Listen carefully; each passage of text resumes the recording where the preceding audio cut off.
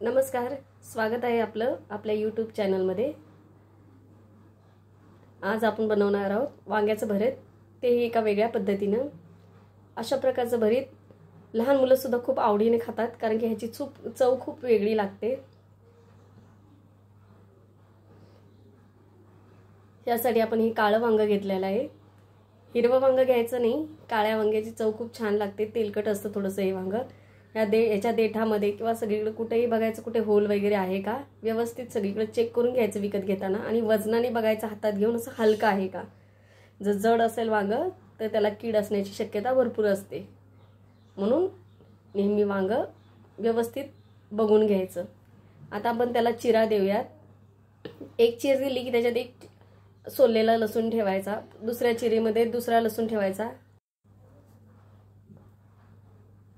असे सात ते आठ किंवा न जेवढे तुम्हाला वाटेल तेवढा चिरा द्यायच्या आणि लसूण आतमध्ये ठेवायचा. थोड्याशा दोन हिरव्या मिरच्याही घेऊन थोड्या अर्ध्या अर्ध्यामध्ये मोडून त्या पण ठेवायच्या अशा वांग्यामध्ये चीर देऊन.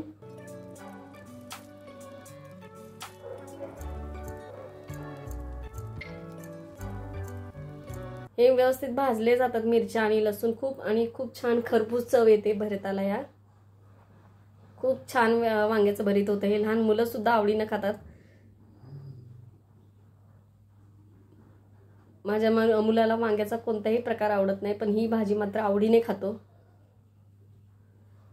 आता आपण व्यवस्थित सात ते आठ लसूण आणि दोन मिरच्या हिरव्या मिरच्या आपण याच्यात खोवून घेतलेल्या आहेत. आता व्यवस्थित तेल लावून घेऊया. तेल लावल्याने त्याची साल जेव्हा आपण भाजतो वांग गॅसवर तेव्हा साल व्यवस्थित लवकर निघते. म्हणून सगळीकडे तेल लावून घेऊया. आणि आता ह्याला गॅसवर भाजायचं. आधी शेंड्याकडचा भाग भाजून घ्यायचा कारण की तो खो जराशी लवकर भाजत नाही. त्याच्याबरोबर मिरच्या आणि लसूण सुद्धा भाजला जातो म्हणून नेहमी असं मिरची खोवून चांगलं व्यवस्थित भाजून घ्यायचं. पाच ते दहा मिनटं लागतात व्यवस्थित असं भाजायला गॅसवर. फास्ट गॅसवरच भाजायचं इथं मंद गॅस ठेवायचा नाही.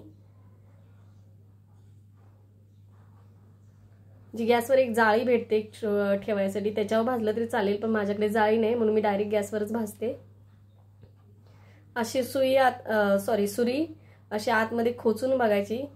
जर व्यवस्थित आतमध्ये आरपार गेली तर समजायचं शिजलंय म्हणून. इकडचा थोडासा भाग कच्चा आहे म्हणून त्याला अजून आपण थोडंसं भाजून घेऊया.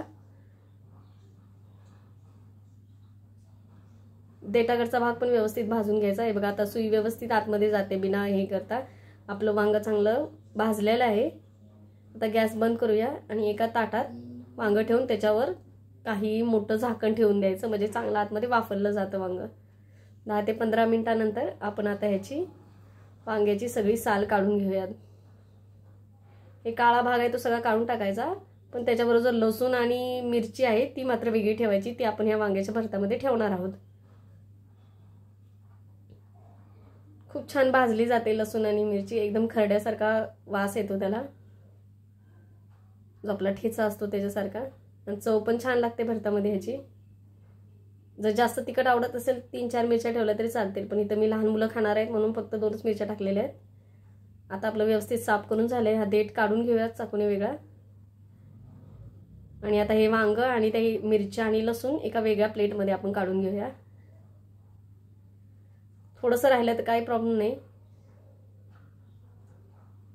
थोडासा काळा भाग राहिलेलाच आहे पण त्याने चव चांगली येते का भा वांग्याच्या भरताना? आता व्यवस्थित चाकून एक कापून घेऊया आपण. एकदम बारीक बारीक चॉप करून घ्यायचं. गावाकडे हे वांग चुलीच्या आरावर भाजलं जातं. त्यामुळे त्याची चव अजून छान लागते. हा मिरचा सो सुद्धा आता एका फुलपात्राने किंवा तांब्याने असा वाटून घ्यायचा. आता दोन्ही मिक्स करून घेऊया वांग म्हणजे शिजवलेला वांग आणि तो मिरचा आहे तो.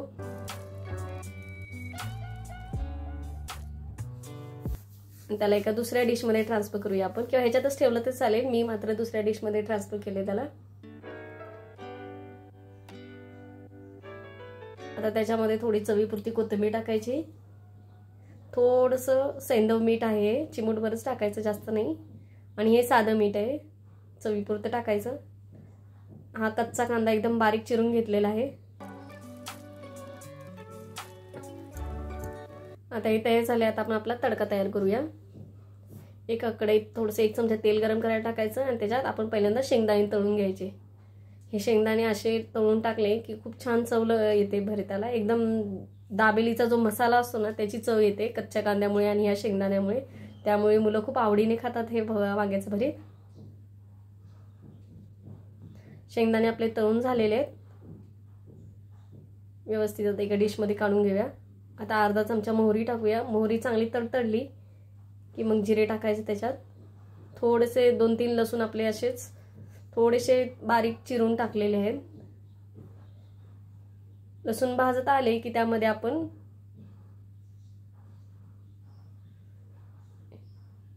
लाल मिरचीचे तुकडे टाकायचे जे कमी तिखटाचे असतात बेडगी मिरची. दोन तीन कडीपत्त्याची पानं असं चुरून टाकायची. थोडंसं अर्धा चमचा काळं तिखट टाकलंय मी. व्यवस्थित भाजून घ्यायचं. आणि आता हे आपले जे मांगेचं भरीत होतं ते डिश आहे त्याच्यामध्ये हा तडका ओतून घेऊया.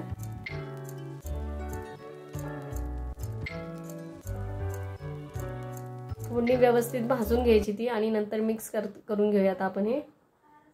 खूप छान चव लागते ह्याची वांग्याच्या भरताची. कारण की माझी मुलं खूप आवडीने खातात. असं नॉर्मल वांग्याची कोणतीही भाजी खायला मागत नाहीत पण ही भरीत मात्र खूप आवडीने खातात. कच्च्या कांद्यामुळे त्याला खूप छान चव लागते. तर ही रेसिपी तुम्हाला कशी वाटली ती मला कमेंट बॉक्समध्ये नक्की सांगा. आणि व्हिडिओ आवडल्यास लाईक जरूर करा. गरम गरम भाकरी बरोबर. वांग्याचं भरीत अतिशय छान लागतं.